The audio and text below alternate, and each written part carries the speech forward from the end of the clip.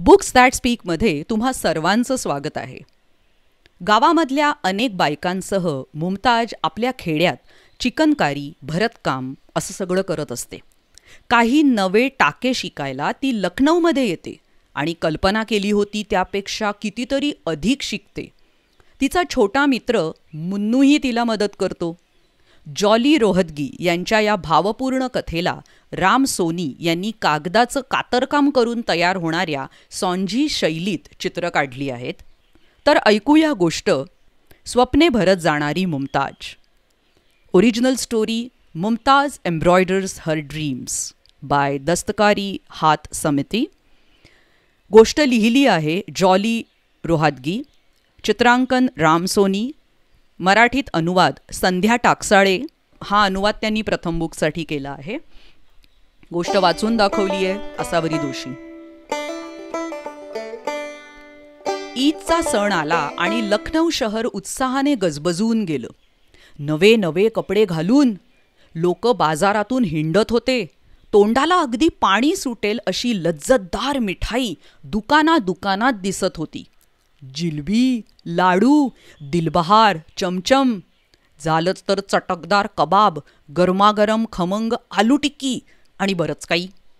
सर्व प्रकारचे खाद्यपदार्थ रंगीबेरंगी कपडे झगमगते चांदीचे दागिने यांनी चौकातली दुकानं अगदी सजली होती. भरपूर भेटवस्तू आणि मिठाई भरलेले पानांचे द्रोण घेऊन मेहरुन्नसा कमरुन्नसा आणि त्यांचा भाऊ अझहरमिया चालले होते. ईदच्या निमित्ताने भेट मिळालेले अप्रतिम चिकनकारी केलेले आपले नवे कपडे अभिमानाने मिरवत होते. मेहरूच्या कुडत्यावर गडद गुलाबी रंगाची फुलं भरली होती तर कमरूच्या कपड्यांवर फुलापानांची नक्षी. अझर मिया आपल्या नाजूक विणकामाच्या टोपीवर विशेष खुश दिसत होते. अब्बू म्हणजे त्यांचे वडील कंत्राटदार होते. चौकातले मोठे दुकानदार अब्बूंना कापड द्यायचे आणि अब्बू कशिदाकाम भरतकाम करणाऱ्या बायकांकडून त्यावर चिकनकारी कशिदाकारी करून घ्यायचे. दुकानदार त्या बायकांना पैसे द्यायचे आणि अब्बूंनाही कामाप्रमाणे कमिशन मिळायचं. अब्बूंना यातून बऱ्यापैकी पैसा मिळत असल्याने अम्मीला इतर बायकांसारखं भरतकाम करावं लागायचं नाही. कमरू आणि मेहरू मशिदीतल्या मदरशामध्ये शिक्षण घेत होत्या तर अझहर मुलांच्या शाळेत जात असे. कमरू आणि मेहरू थोडंफार भरतकाम करत पण त्यांचं त्याबद्दल जरा जास्तच कौतुक व्हायचं. कारण उघड होतं त्यांच्या अब्बूंनीच तर वस्तीतल्या बायकांना हे काम मिळवून दिलं होतं. आणि त्यातून चार पैसे त्यांना मिळत होते. अझहर एकदम थांबला आणि म्हणाला अरे घरात आपली आणखी एक बहीण आहे आणि तिची आठवणच आपल्या कुणाला नाही. तिने नवे कपडेही नाही घातले. मुमताज काही आपली सख्खी बहीण नाही आहे मावस बहीण तर आहे आणि तिला चालता येत नाही म्हणून ती आपल्याकडे आली आहे दोघी एकदम फिसकारल्या.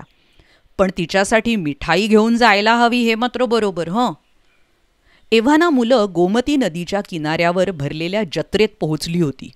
काय उत्साहाने सळसळणारं वातावरण होतं ते.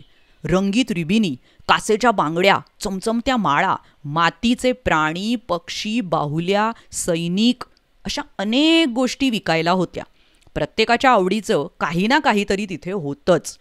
त्या सगळ्या जल्लोषात ही मुलं आपल्या मावस बहिणीला विसरून गेली.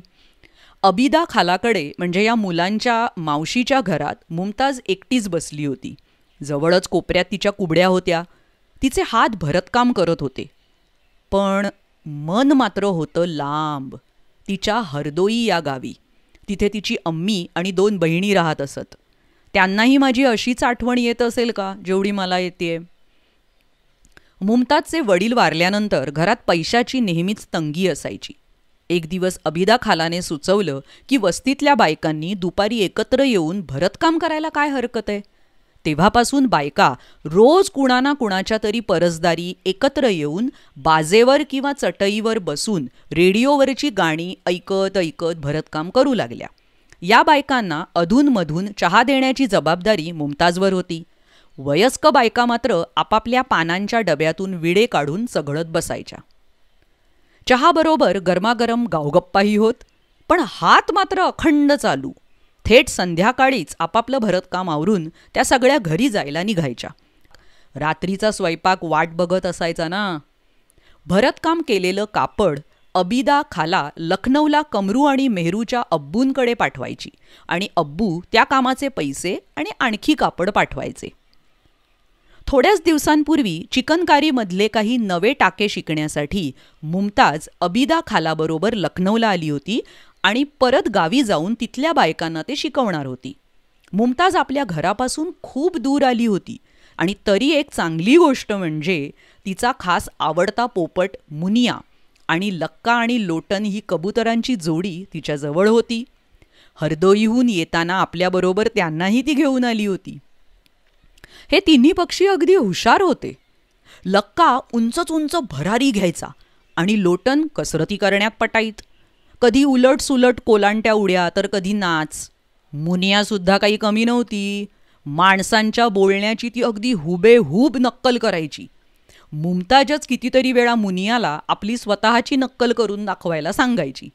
मुमताज काम करायला बसली की लक्का लोटनची जोडी दाणे टिपून उंच ढगात लुप्त व्हायची. आणि परत थोड्या वेळाने दाणे टिपायला हजर. लखनौला आल्यावर मुमताजला आणखी एक मित्र मिळाला होता. शेजारच्या भाजीवाल्यांचा आठ वर्षाचा मुन्नू. तो आपल्या वडिलांबरोबर भाजी विकत फिरायचा आणि आपल्या खास आवाजात भाजी घ्या भाजी! अशी हाळी द्यायचा. नुकतीच मुमताजची त्याच्याशी दोस्ती झाली होती. मुमताज आपला नाश्ता त्याच्याबरोबर वाटून घ्यायची. दोघं लक्का लोटनच्या करामती बघत बसायचे.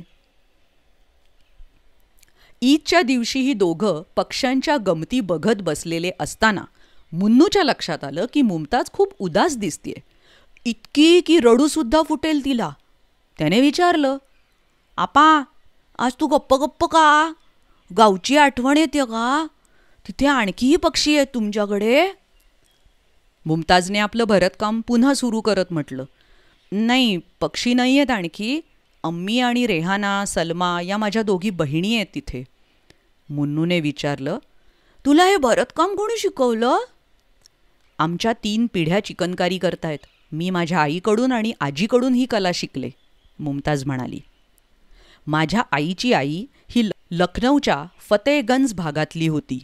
तो भाग चिकनकारी आणि कटवर्कसाठी खूप प्रसिद्ध होता. आजी मला लखनौचे नवाब आणि त्यांच्या बेगमांचे किस्से सांगायची.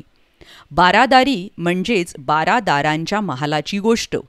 गझला आणि शेरोशायरीच्या मैफिली असंही बरंच काय काय सांगायची. आणि तिच्या हातची बिर्याणी कबाब आणि शेवैया एवढ्या लज्जतदार असायच्या की सांगतानाही तोंडाला पाणी सुटतंय. ती नेहमी चिकनकारी केलेली पांढरी चादर म्हणजे शालीसारखं डोक्यावरून आणि खांद्यावरून गुंडाळायचं तलम वस्त्र घ्यायची. अजून आहे ती चादर माझ्याजवळ तिची आठवण म्हणून. आजीच्या गोष्टी सांगताना मुमताजचा चेहरा उजळला. माझ्या आईलाही मी सतत चिकनकारी कशिदा काम करतानाच बघितलंय. दिवसभर कपड्यातून सुई दोरा सतत वर खाली सफाईने फिरत राहायचा. म्हणजे ती कधी घराबाहेरच नाही पडायची? मुन्नूने आश्चर्याने विचारलं. अगदी क्वचित. कधी भाजी आणायला किंवा नातेवाईकांना भेटायला रेहाना आणि सलमाही खूप कमी वेळा बाहेर जातात आणि जेव्हा जातात तेव्हा डोक्याला ओढणी गुंडाळून आई बुरखा घालते माझ्या बहिणी शाळेतही गेलेल्या नाहीत मी मात्र आठवीपर्यंत शिकले आणि आता मात्र आई आणि बहिणीकडून चिकनकारी भरतकाम शिकतेय. अरे वा तू शाळेत जात होतीस? मुन्नूला त्याचं अप्रूप होतं कारण लहानपणापासून वडिलांनाच मदत करत असल्यामुळे त्याला शाळेत जायला मिळालंच नव्हतं. हो चिकनकारी कशिदा काम करणाऱ्या आमच्या समाजात मुली फारशा शाळेत जात नाहीत. माझ्या आईलाही लिहिता वाचता येत नाही. तिला तर हेही कळायचं नाही की आपण केलेल्या कामाचे व्यापाऱ्याकडून किती पैसे यायला हवेत. सुरुवातीला मी तिला थोडा हिशोब शिकवला नंतर पैशाची गरज पडली आणि मग मीही भरतकाम करायला लागले. मुमताज बोलता बोलता एकदम थांबली आणि हळुवारपणे म्हणाली कधीकधी खूप आठवण येते तिची. मग मी रात्रभर रडत बसते. तिचं मन दुसरीकडे वळवावं म्हणून मुन्नूने पटकन विषय बदलत तिला विचारलं. आपा तुला स्वप्न पडतात का ग रात्री? हो पडतात तर. स्वप्नात मी लक्का आणि लोटन यांच्यासारखी मोकळ्या निळ्या आभाळात उंच उंच उडते आणि किती ठिकाणांची सफर करून येते. कधी वाटतं आजीसुद्धा भेटेल एखाद्या दिवशी. मुमताज म्हणाली हो ना. मग जा बरं. झटकन आजीची ती चादर घेऊन ये. मी तुला एक खेळ शिकवतो. मुन्नू रुबाबात म्हणाला. त्याने तिला चांद पाशाविषयी सांगितलं. चांद पाशा हा एक आजारी वृद्ध जादूगार होता. आपल्या वडिलांबरोबर हिंडताना त्याच्याशी मुन्नूची ओळख झाली होती. त्याने मुन्नूला एक अतिशय गमतीची जादू शिकवली होती.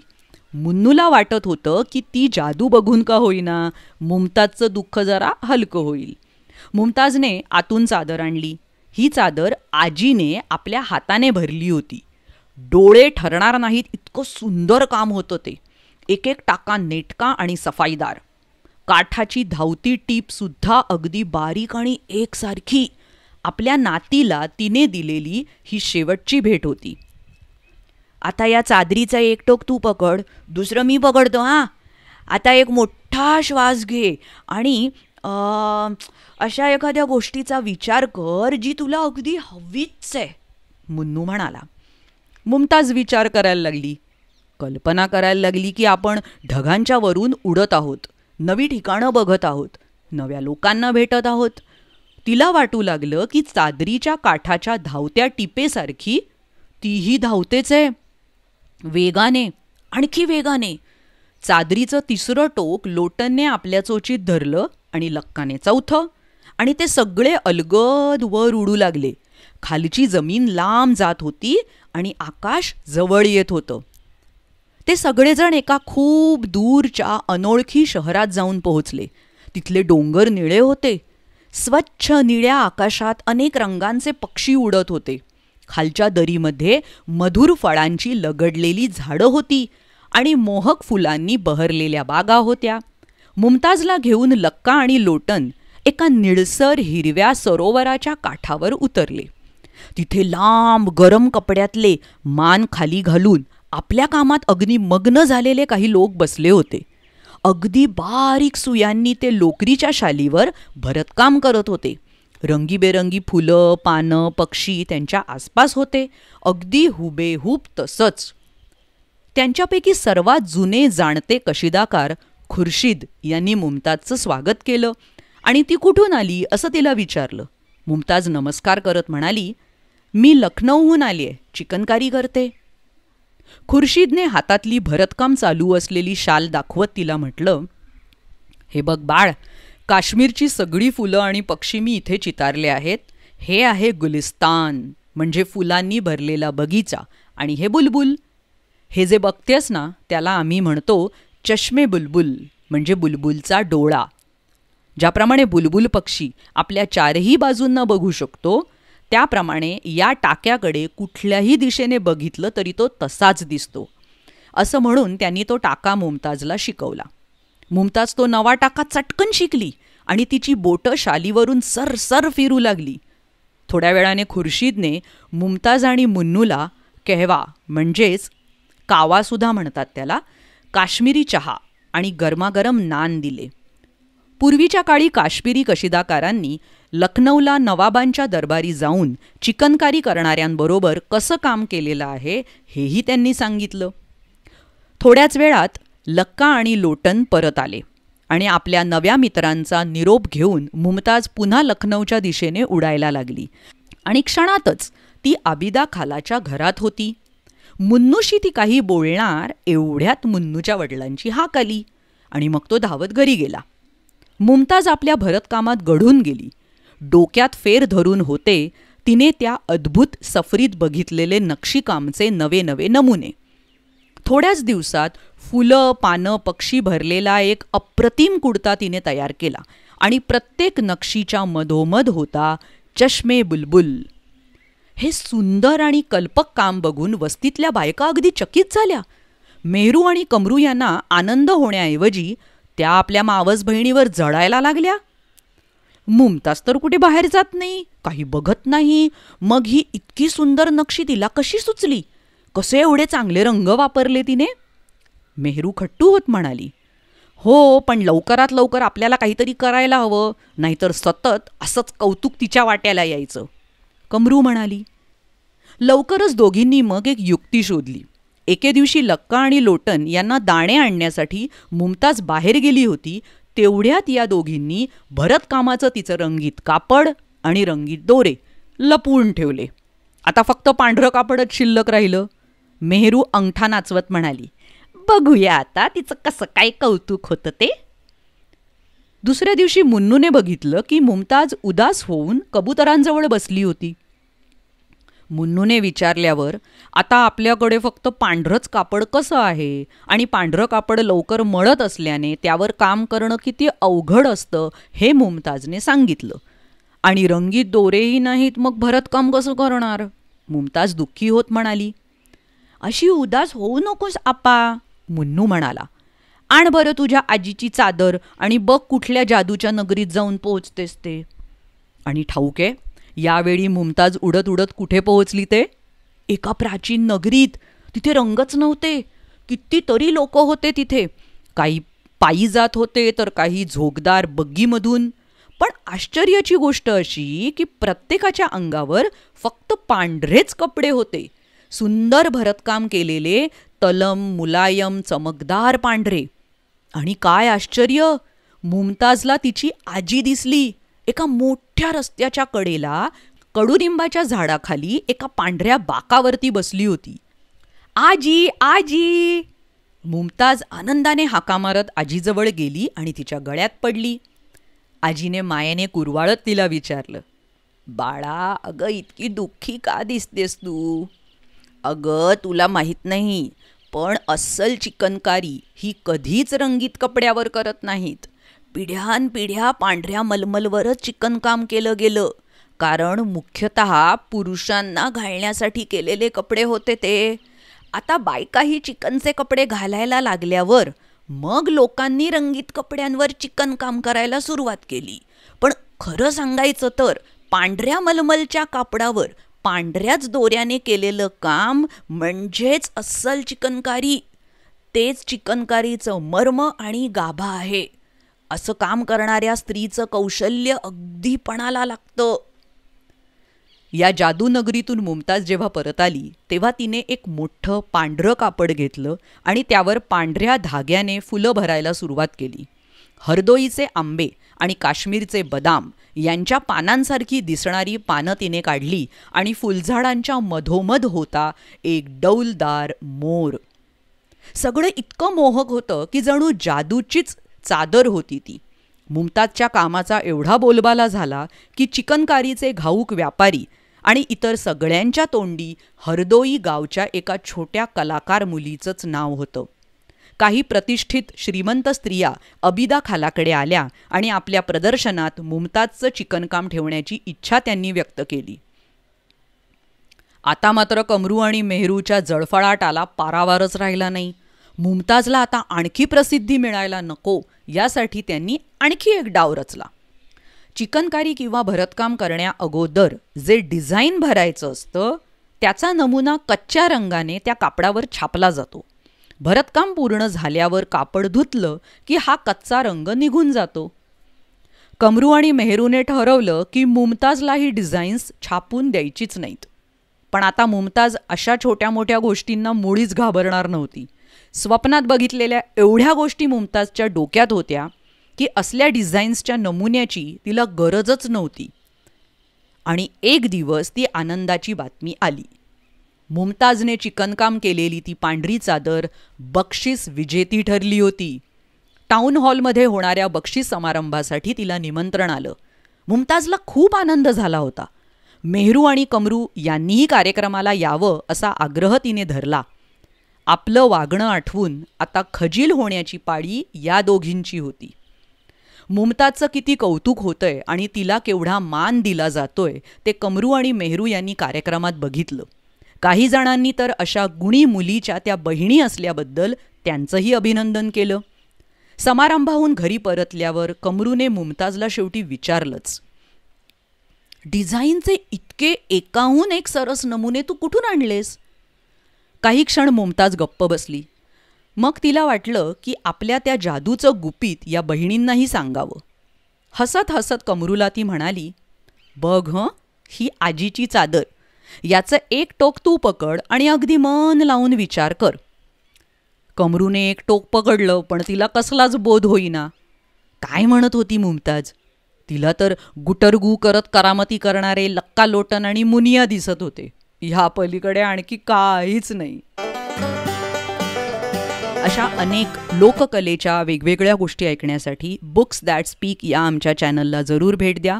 यूट्यूबवर आणि वेगवेगळ्या पॉडकास्टिंग चॅनल्सवर आमची वेबसाईट आहे W W W dot books that speak dot com धन्यवाद.